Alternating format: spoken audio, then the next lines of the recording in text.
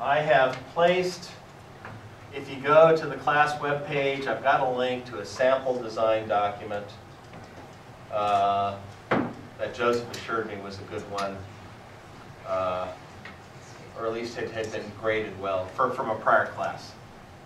Uh, feel free to, to shamelessly steal it. I mean, the design itself won't do any good, but, you know, gain inspiration for that. Speaking of which, let me back up a minute. Uh, Jerry Weinberg, one of, one of the great and seminal figures in software engineering, uh, from a very young age, wrote the Psychology of Computer Programming, which I, I strongly would urge all of you at some point after this class to buy and read. For one thing, it, you, will you'll, you'll marvel, because it's written in 1971, so all the technology he talks about is very old technology. But Jerry touched, even the head of Fred Brooks, touched on almost every key issue involved in software engineering. Uh, he even came up with the, you know, trying to make a baby in one month with nine women analogy before Fred Brooks used it in Mythical Man Month. Uh, but I, I Jerry Weinberg has a, a, well, he's, he's probably got 30 or 40 great books. I have a lot of them. He's got one called on becoming a technical consultant and, or technical leader. Uh, and in it, what he talks about uh, in his usual somewhat tongue-in-cheek fashion, he says, the three great sources of ideas, of creative ideas, are mistakes, as trying to do something and suddenly discovering, oh, wait, you know, that's not working, but I now have an idea. Theft, borrowing the idea from some other source, I'm going to take this and I'm going to improve, upon it. Uh, I've already quoted Steve Jobs, you know, good artists copy, great artists steal. And as Jerry puts it, copulation. This is taking two different ideas and bringing them together. Says the problem is from our childhood we're taught not to steal, uh, not to not to make mistakes, and not to copulate outside of marriage. And he says so we're all conditioned against devising ideas. Uh, you will find in software engineering one of your most valuable sources of information are what other people have done. This is why you read there are a few things, and, and I, I, I suspect all of you already know this. There are a few things more, more priceless to a programmer, particularly if you're using a new technology, than snippets of working code. I can't tell you how many different languages and environments and libraries I've had to use over the years. And one of the first things I go is, you know, how do I do X? You know, I'm working under NeXTSTEP. How do I open up a window with a title bar on it, this and this and this? And what I want is the working code that will make it work because then I can take that working snippet and I can start modifying say, well, what happens if I do this? Okay, I have to do this, and I look at the API documentation and so on. Don't feel that you have to invent things from scratch. Indeed, the, the road to success is to buy, borrow, reuse anything that is essential to your project and then use your creative energy on that which distinguishes your project from everything else. This is the buy versus build dilemma that you have, in, uh, uh, particularly in corporate things you buy the software. Just go find some vendor and buy, license, whatever the software that's necessary to operate. You don't want to write your own accounting packages. Corporations used to do that 30, 40 years ago. You got to go you know, get Oracle Financials or you know SAP or whatever. And where you want to put your creative efforts is where you're going to get your competitive edge. Which was a very long lead in to say, you know, I've got a design document out there. Feel free, I literally feel free to, to file off the serial numbers and just fill it in. Now, the approach they have may not work for your particular project. Uh, and you may want to do something else. And we will talk, when we go over the design documents next week, we'll talk more about design and architecture. But all that said,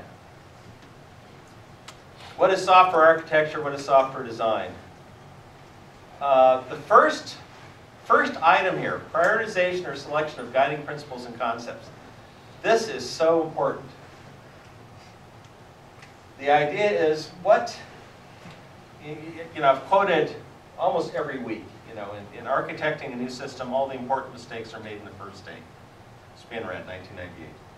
Uh, that's one of my mantras. The question is, what is it you're really trying to do? Uh, and what is it that you aren't going to do as a result? The, uh, so you want your guiding principles. You know, what's important is that this run on iOS. What is important is that this run cross-platform.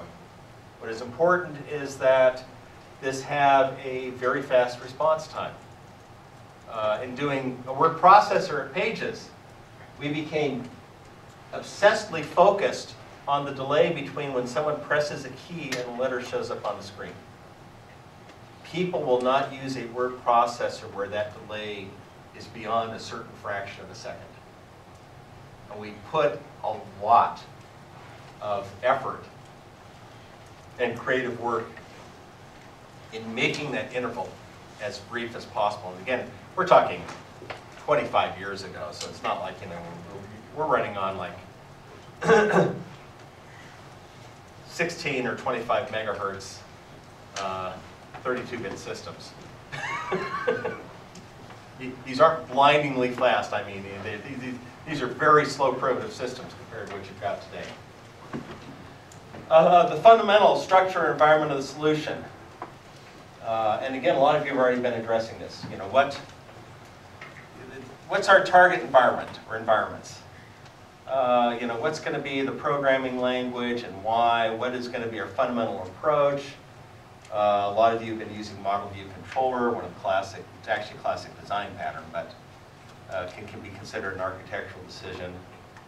What are the resulting constraints and opportunities due to the choices you've made? And then, does, does everyone have buy-in? Years ago, I was attending a developers conference for Taligent, which was a joint effort by IBM, HP, and Apple to try and come up with a with the equivalent of NeXTSTEP, an object-oriented operating system. The problem is they used C++ instead of Objective-C. There was no root object class, and it failed miserably. But that's, oops, but that said, Tom Affinito was one of the instructors there, and he and I were talking about architecture, and he made a comment which I've remembered and quoted many times since, which is that architecture is a political act. Uh, Brooks talks about conceptual unity in architecture, but it can't be handed down from Mount Sinai. You have to get people to buy into your architecture. You have to be able to explain it. If I can find them in my stacks and stacks of boxes and bins uh, in uh, my basement, I still have the three large graph paper diagrams that I created with multiple, multiple revisions of each that were the fundamental architecture for pages. One was a class, class hierarchy. One was showed the structure of a document, and one showed the fundamental components of the software and how they interact with each other. Did these with colored pens on a very large graph paper pad like I said, I, I, produced multiple versions of each, and when I came with the final versions of each, with each new engineer I'd hire, I'd go down to Kinko's and get color copies of all three sheets and hand them to her or him. And say, this is what we're building. Uh, and that actually turned out to be very effective uh, as some guidelines. Now, I'm not asking for architecture documents, but architecture is stuff you guys are doing anyway. This is from Software Engineering Institute at Carnegie Mellon. This is their definition of the architectural process. Establish requirements by analyzing the business drivers, system context, and factors that system, stake, system stakeholders deem critical to success. You have to make sure you're actually solving the problem that wants to be solved. There is, there is a lure in saying, oh, this is so cool, I'm going to build something that does X. And if it doesn't solve the problem of the person who's either going to buy it or is paying for it or both, it's not going to work. coming up with the architectural structures, and boy, there, there, I've got half a dozen books on software architecture, so this is not a class in software architecture, but coming up with the design, evaluating it, and then documenting it. Now, what we're going to have here is we're going to have you do design, which are your specific solutions to implementing the architecture. All of you in your requirements document have in fact laid out much of what would be considered architecture. Building an application that does this, this is the response time, this is where it's going to operate in. Here's what's important, this is what we want. Uh, your design requirements can be man, can be mandated design things. You, you know, we will do this or we will not do this. Sometimes it's very important to describe what you're not going to do. Uh, to keep over enthusiastic developers from sort of going off into the weeds. You want the goal of ensuring conceptual unity. So the design, the elements of the design have to work together. As I mentioned before, when I got brought into AIR Inc. as a chief architect consultant, I asked to see the architecture document. All they had were four design drawings for four different subsystems. And I tried to, you know, and they all showed internal structure for each of the subsystems and then some external interfaces. And guess what? The external interfaces didn't, didn't fit. They had no architecture. I had to design an architecture and then redesign the four subsystems to all fit within that architecture. You don't want to do that. You want to start off with a consistent architecture and go from there. Your design can cover a wide variety of areas, and a lot of you have already touched on some of this in your requirements. UX, UI, database design or data structure design, uh, patterns and module interfaces. Here's something which you guys have probably already learned to some extent in your programming. There are two types of interfaces to any kind of library or environment. One is sort of the literal, I want to look up, you know, what the open, you know, create window uh, call is to, to bring up a window on screen. And then there's the deep interface, which is the information of I have to make this call and this call and then this call to the operating system in order to successfully get all of this done.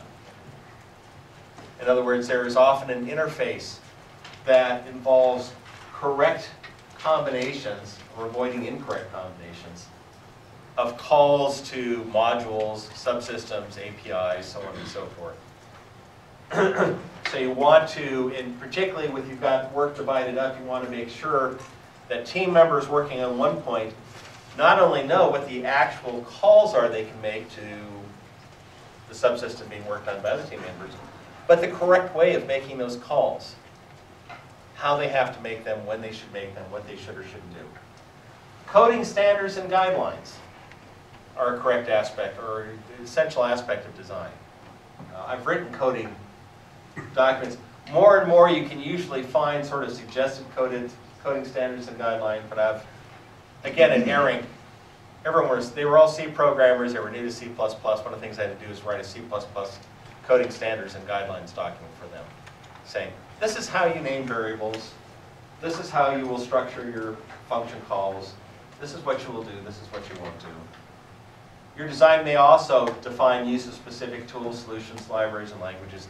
A lot of that is in architecture, but some of it comes down to design. The actual deliverables will often depend upon methodology being used. Uh, again, I've got the sample design document on there. It's got, the, the one that's out there has got, and there's, I've got multiple links now. It's, it's uh, in the, what's the front page?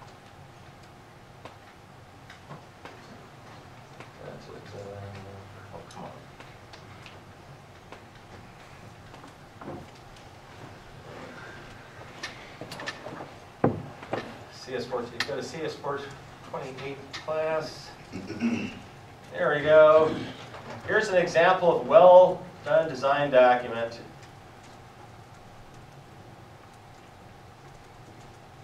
It's big, it's like a megabyte, so it'll take a while. It's a PDF, but you can look at it. So they've got, you know, purpose of document, purpose of the product. They've got a discussion of the front end design with some details, screenshots.